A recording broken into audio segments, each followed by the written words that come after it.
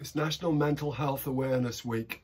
I've been thinking about this today and having a chat earlier with an old mate, Peter Ack.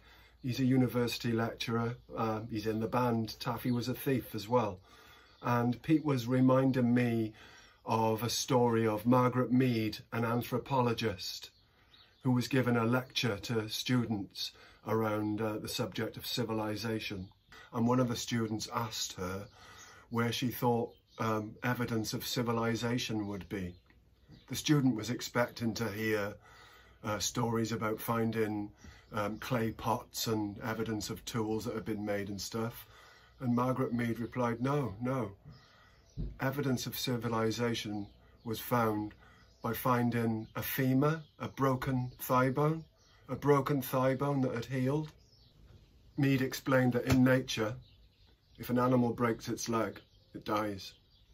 It can't hunt, can't go to the river to get a drink, can't escape and soon becomes a predator for other animals.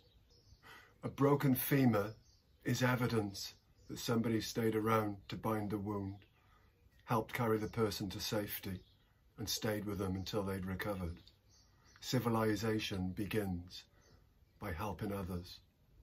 So for this week's mental health awareness with the theme of kindness, who can you stay around with and make sure that you're there to aid them through their recovery? Because, as Margaret Mead says, this is where civilization really begins, by looking after others.